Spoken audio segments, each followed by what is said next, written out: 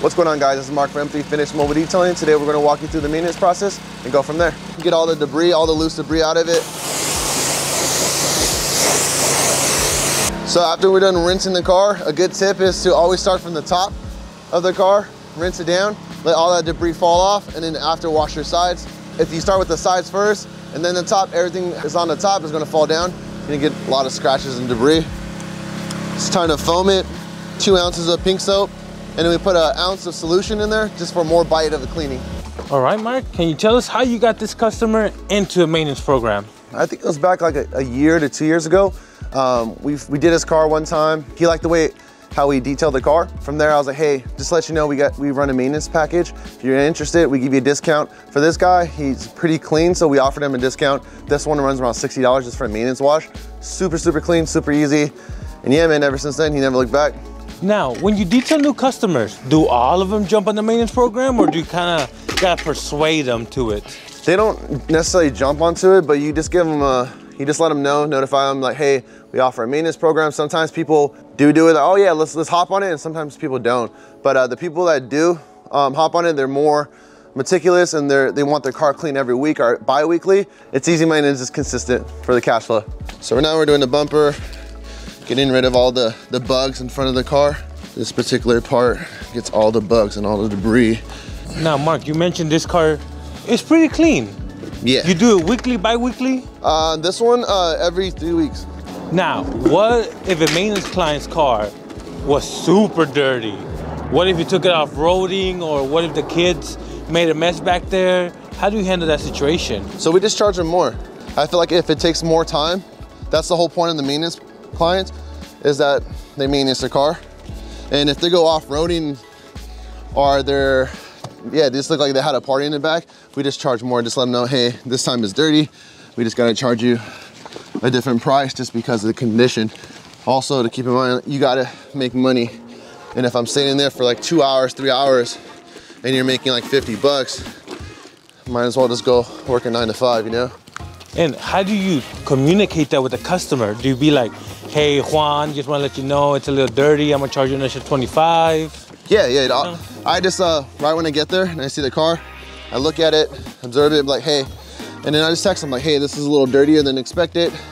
Uh, we're gonna have to charge you a little bit more, but uh, just let you know, is that okay? And sometimes I'm like, most of the time, like 95% they say, oh, no worries, yeah, yeah. But maybe you get that one guy who's like, oh, no, it's okay. Like, it's fine. It's really rare, but it might happen. Like it's fine, don't detail or, or it's fine, just do the basics? Like don't detail it. and then you just waste the time, but it's rare because you already you already build a uh, relationship with the customer and you know them for a while. They'll look out, you know. All right, so now we're done with the agitation process. Now it's time to rinse it down. Get all that soap off the surface. So we just finished the rinsing process. Now we're gonna hit the wheels. I know there's a big debate right now. People ask a lot of my detailer uh, buddies, what do you do first, the wheels or the exterior? For me, I do the exterior first just because it gives more time for the water to fall down so you don't have to blow as much. For the wheels, I, I did both before. I did the wheels and then the, the, the exterior. But I, I, like this method way better just because it takes less time to dry the car. So right now we're using Wise Guy from Shine Supply. We hit the tire, we hit the rim and the barrel. So right now I'm gonna agitate the face. Got my wheel woolly to hit the, the barrel, the rim. Come through and hit the tire. Inside, what I like to do is got solution one to one. I like to spray in the wheel wells for the plastics. I see a lot of people, they, when they detail, they leave the wheel well alone. And then when you wash the car, it looks good, but when you look in the wheel well, there's a bunch of dirt. So I just like to clean that to give a better appearance. How much time do you try to spend on the wheel? Um, doesn't take us that long, but just depends. There's some clients that we take that are brand new and they're inside of the wheel is just really, really caked on because they take it to the car washes. Man, sometimes that it could take two to three minutes just for the wheel. But if you have the right chemicals and the right technique, you get through the wheel pretty fast. I know some guys, they, they do take a little longer on the wheel. Well, I'd like to know for all the other detailers out there, how long do you guys spend on the wheel? Like I said, I spend anywhere from like 30 seconds to a minute per wheel, but drop it in the comments down to see what the what time is. For our maintenance clients, usually we use Wise Guy, either one to one or three to one. Um, that would be our ideal kind of wheel maintenance. But uh, we know we have some cars that are really bad, like an AMG 63 that shoots a lot of brake dust. We're probably gonna use an acidic cleaner for that. But ideally, for all our maintenance clients, we just use a, a degreaser. So Mark, I noticed you dilute a lot of your products. Yeah. Why is that? But still, the recommended dilution ratio, you don't want to like, say for instance, Wise Guy, you don't want to use it straight, just because say for instance, if you do use it straight, there might be some staining that could be caused. And also, keep in mind, we're doing this for a business, so we want to save money by diluting it as well. So if, if this doesn't, this wheel doesn't need a one to one, go to three to one to save some money because a gallon's forty dollars, and uh, obviously got to make the product stretch for more money. So Okay. I always recommend to people dilute the product. All right, as we mentioned in the video, we do dilute our products, but I'd like to know if you guys dilute your products. Um, drop it in the comments and go from there.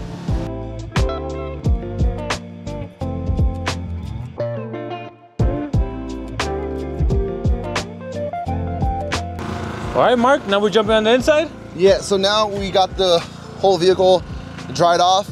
So the second thing we do after drying off the vehicle is hit the door jambs, get all that dirt, all that film out of the door jambs. And then after that, we're gonna hop into the inside. All right, Mark, so what's the game plan for the inside? Yeah, so right now we're gonna remove the floor mats. I like to remove them out of the car. For me personally, I wouldn't vacuum them. It takes way longer to vacuum them. So what I do, I just remove them, put them right here. I have solution, dilute it one to one. What I do, I just uh, spray the, the floor mats. The cool thing about this product, it has emulsifiers in it, so it just lifts up the dirt. So I don't have to necessarily scrub the, the mat. I just spray it on there, let it sit for a few, and just pressure wash it, and it's good to go. I know some detailers, they, they scrub the, the mats, but if you have the right chemical, you don't have to do that. You save some time. So, Mark, how do you feel about Teslas? Teslas, I personally like them. I own a Tesla, so I know there's a lot of like people that say, ah, Tesla's whack. Tesla, you gotta charge the car. Me personally, I love the car. I don't have time to do maintenance uh, on the vehicle, so like, I don't have time to do oil changes. I don't got time to do none of that. So this is basically a maintenance-free kind of thing. All you gotta do is worry about the brakes, the wheels, the windshield fluid, and the battery. That's about it. So yeah, I think they're solid. And for us detailers, people with Teslas, they like to take care of them. So it's good for us at the same time. A good tip is to move the seat forward, all the way forward. I don't like to work backwards. So what I do is when I'm moving the seat, I'm vacuuming at the same time. And then come through.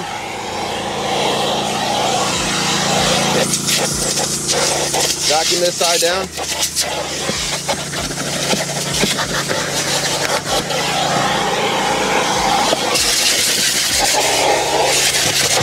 This was not bad, so it doesn't require a lot of time. I don't have to move it forward again when I wipe down. So this saves a little bit of time. Cool, so after that process, after vacuuming, we're gonna do a wipe down. After the wipe down, we're gonna hit the glass, close the doors, shine the tires, detail spray the outside. Should be good to go. That'll be our maintenance detail, our maintenance package. When you're done, do you call a customer out? Yeah, yeah. So usually I text them like, let them know, hey, I'm done. You can come check the vehicle out. For us detailers, we always beef it with the gardeners.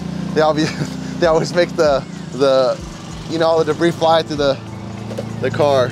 Towels right here. So this towel I'll use for the floor mats, and this towel for the top. So what I'll do is wipe it down. This one wasn't really stepped on, so that's the reason why I didn't take it out. Just wiping it down. So right now we're using ONR just to wipe everything down, the interior detailer. So, I think that's another good tip right there. Isn't ONR for exterior? It's kind of like a 501 product, I think, I would say. It's uh, it's good for a clay lube, uh, detailing spray, uh, interior detailer, waterless wash. I don't personally use it, but you can use it for glass as well. So yeah, that product is pretty cool. I like Hey, it a lot. Saving you a lot of money, man. Yeah, it saves a lot of money. I want to know what you guys use for the insides. I know some people use mm, leather and surface cleaner from Shine Spot. For me personally, it's on the expensive side. I'll only use it if it's for details, but it runs $45 a gallon.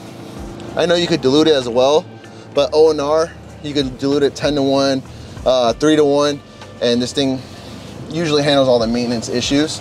That's another thing too as well. Detailers like to, they like to do more than what they get paid for. For instance, I have a, a buddy in a, in uh, San Francisco. He uses like express uh, interior detailer instead of like uh, instead of just an interior detailer. The express is going to clean the interior better. You do want it for your client. You want the best for your client, but as well, like you're going to be wasting more money, more time, and you're never going to make any more money just because you're detailing the client's car, but charging them for a car wash. It doesn't make sense. So that's the thing too. You have to know how to go about it. So next thing we're gonna do is hit the, the glass with some glass cleaner. Right now we're using Shine Supply Sunshine, diluted three to one with the waffle weave towel. Uh, I know some people use the, the microfiber towels for the windows, but for me, it leaves a lot of uh, lint behind. So I just use these waffle towels. So I'll use two towels. We'll do the two towel method. All right, so I'll walk you through the glass cleaning process. So this is my wet towel, and then this is my dry towel. What I'll do, I spray the glass cleaner, a fair amount, missed it, but not too crazy. Fold my towels into fours. What I like to do is smear the product all over the place, and we're gonna scrub it. And then we'll come through, buff it out, make sure to get all that residue behind. If there's any or any smear marks, flip it over, it should be good to go. And I'm pretty sure if you follow this process, you'll probably have no streaks on your windows. So if I, I know if when you get a little bit better, you can start using one towel, but this method will be easier for you guys to do. So always keep that dry towel. So the reason why you want a dry towel is to remove any streaks on the on the surface. So your first towel will be your buff towel or your, your wet towel, and you come through and buff it after. Flip it over, super clean. I'll do the outside last because you can get this, you get the, the water. So I like to do half of the inside first, shut it, do the exterior half, and then move move on. Cleaning the, the Teslas, dashes, what you'll do, you go to your uh, the car right here, you'll tap the car, you go to uh, service. So service, and say for instance, if you're gonna wash the car and you always having to keep locking, you could go to car wash mode and it's always gonna keep it unlocked. And then for, uh, if you wanna clean the LED screen or, or the display screen, you go to display and hit uh, clean screening mode and you can clean the glass. Sometimes like if you don't do that, the screen starts spazzing out and you have to, how to restart it. What I'll do is hold the buttons right here. You hold it for like 15 to 20 seconds and it, it just reboots the whole car if you run into that issue. Wipe this down. Flip it over, buff it out. There it go. The trickiest thing is doing the windshields for me um, and for other people in direct heat or direct sunlight. Everything's going to dry faster, so you got to work quicker. What I do is spray it, come through, smear it. I do half the windshield, and then you see all those wet marks. Come through with my dry towel, buff it out, flip it over again, and buff it out as well. So there's some streaking right here that you see, and for me, this is like the famous edge. So when it, no matter what, I can go like this, you'll still see that streak. At the end, what I do, I like to just grab my towel, come through and go like this. And in the sunlight, you'll see what I'm talking about. So I like to just smear it around, move the glass cleaner and clean, buff it out so you don't get that streak. Come down to your other initial wipe down. And when you guys follow this process, I'm pretty sure 99% you'll get a smear-free window. A good tip also when you clean the glass, like for instance, obviously not this car, but I would say for like an SUV, like a RAV4 or something, they have the back windows right here. I'll do that back window last because all of the water will start dripping underneath this, the little uh, strip right there. Start dripping water, so leave that last and then hit everything else. So by the time all that water drip down, you don't have to worry about that when you leave. I'd like to know guys if you guys use two towels, one towel, no towels, and also what do you guys use for your glass cleaner? I spoke with other detailers. Some people just use water. So for me, personally, it doesn't work for me. Just I like the Shine Supply uh, Sunshine, but drop it in the comments. So now after we're done with the, the windows, we got the whole inside dialed in. What I'll do is spray this tire shine. You will notice me using different brushes for uh, different tires. I like this brush because it's pretty, this brush kind of like, is like the same size, so I'll use this, but there, there's another brush I use called the Boars brush. That'll be for other, uh, other tires as well. Oh, another tip too. Uh, I see people going like this, like, but standing up, and then it gets all the overspray on the window. So if you do spray tire shine, kind of spray down and then apply it so you don't get that overspray on the windows or on the paint. That's like the one thing I hate a lot. I see other people using like the air compressor, but then all the the overspray gets on the vehicle. And for me, I don't have time for that. It takes, it looks like it takes more work to do it that way. So I'd rather stick to the traditional way and just applying tire shine like this. In this one, we're using a fiber dressing one to one dilution ratio. Super glossy. A lot of people use water-based dressing or they use oil. I like to stick with water-based dressings because it, it, it uh, deteriorates quicker and you don't have to worry about the grime from the oils. See what people do like the Armor and stuff, they'll start seeing build up and build up and build up and build up. It's harder to clean. So for me, I stick to the water-based dressing, especially doing this for a living. You wanna make your job easier, not harder. And if you do drop a towel on the floor, don't use it on the car. Just either put it away or just throw it away. No five second rule, Mark? No, no, I'd rather be safe than sorry. Like if you do pick up a rock, that five seconds of me just throwing a towel and getting a new one, you could have created more damage on the surface. It takes you either more time or sometimes it's not fixable. So rather than just not chance it. This is right here in the spray elixir. I like to use it. Yeah, I feel like it's better for like cooked on bugs and stuff. I'll just spray a little bit, kind of working in there. Kind of get all that. So sometimes they do stick on there. There's nothing you can do about it. You also have to have re realistic expectations. You can't take off everything, you know? So keep that in mind as well. Don't try to stay here forever trying to take something that's been cooked on. Hey, Mark, how do you feel about air fresheners? Uh, I personally don't use them. Um, a lot of my clients don't like them for some reason. I remember, I remember I bought a whole line of air fresheners. I was like, yeah, ready to use that. And no one, I was like, you want air freshener? They're like, no. And I was like, ah. Oh. And so uh, what I did, my I let my, like after a while, no one's asking for them. I was like, all right, well, I let my son just like have some, you know, he threw it in our car. Other than that, we didn't really use them. But some people well, my demographic, my clients, they don't really like air fresheners. So for me, I would like to put them in there, but people don't like them. All right, guys, so that's it for this video. Today we wrapped up on the maintenance detail on this uh, Tesla Model Y. You've seen us do the wheels, uh, the exterior, the windows, the vacuuming, the wipe down, what products I use. And if you have any other tips, drop them down in the comments below. And other than that, man, thank you guys for watching. Uh, make sure to like and subscribe. Follow us for more content. Thank you.